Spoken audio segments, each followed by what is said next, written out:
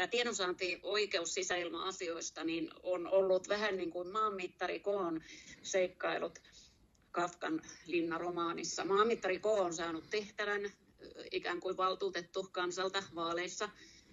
Hän yrittää suorittaa annettua tehtävää. Linna, eli byrokratia, ei vastaa kysymyksiin, ei anna tehdä työtä, kiistää jopa maanmittarin olemassaolon. Ja maamittari on linnassa henkilö, joka häiritsee ja jolle ei tarvitse vastata.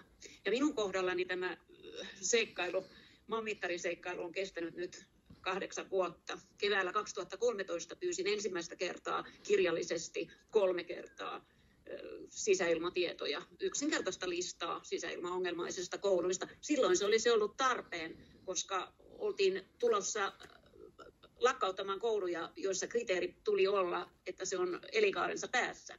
Mutta näitä tietoja ei annettu. Niitä ei annettu. Niitä ei annettu. Ja tässä matkan varrella on virkahenkilöiden kieltäytymistä jatkunut ja toistunut, ja jotkut virastot on saaneet eduskunnan oikeusasiamiehen ukaasit, jotkut on saaneet aluehallintoviraston ukaasit, ja ties minkälaista noottia, että eivät anna tietoja edes valtuutetuille. Mutta mikään ei tätä linnaa hetkauta. He kieltäytyvät noudattamasta kuntalakiin kirjattua luottamushenkilön tiedonsaantioikeutta, ja me jäämme ilman tietoja.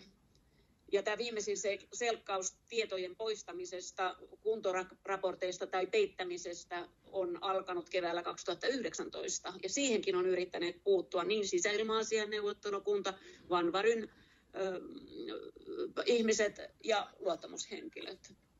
Ja tosiaan virasto väittää, että vain tietosuojalain mukaiset henkilötiedot poistetaan, mutta todellisuudessa sieltä on mustattu jopa tieto siitä, että sisäilmaoireilua on ja sekä tieto siitä, mistä tämä oireilu johtuu. Ja esimerkkinä Simon Kallion koulun kuntoraportista on poistettu tällaiset lauseet.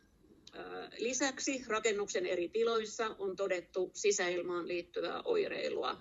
Ja tutkimuksiemme mukaan selkeimmät sisäilmaoireilun syyt ovat vanhojen välipohjien, eristekerrosten sekä väliseinien mikrobivauriot, lattiamattojen kosteusvauriot, putkikanaalien ylipaineisuus, sisätiloihin nähden päiväsaikaan sekä epätiiviit luukut ja läpiviennit. Ja nyt tosiaan, kun kysytään tietosuojavaltuutetulta tai lakimiehiltä, niin ovat pöllömystyneitä. Nämä eivät liity mitenkään tietosuojaan. Miksi kysytte tällaista asiaa?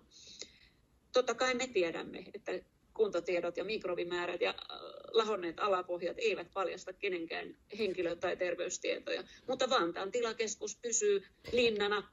Kyllä paljastaa. Me emme paljasta. Ja tällä tavoin estetään asukkaita tietämästä, että heidän lastensa terveyttä vaarannetaan sellaisissa tiloissa, joissa on oikeita sisäilmaongelmia, mutta joita ongelmia ei suostuta myöntämään. Ja anteeksi vaan, mutta mun mielestä tällainen tietojen peittely on, on virkavirhe, joka tulee korjata välittömästi. Ja henkilöt, jotka ovat systemaattisesti peitelleet ja siihen ohjanneet, tulee saattaa vastuuteen. Kiitos.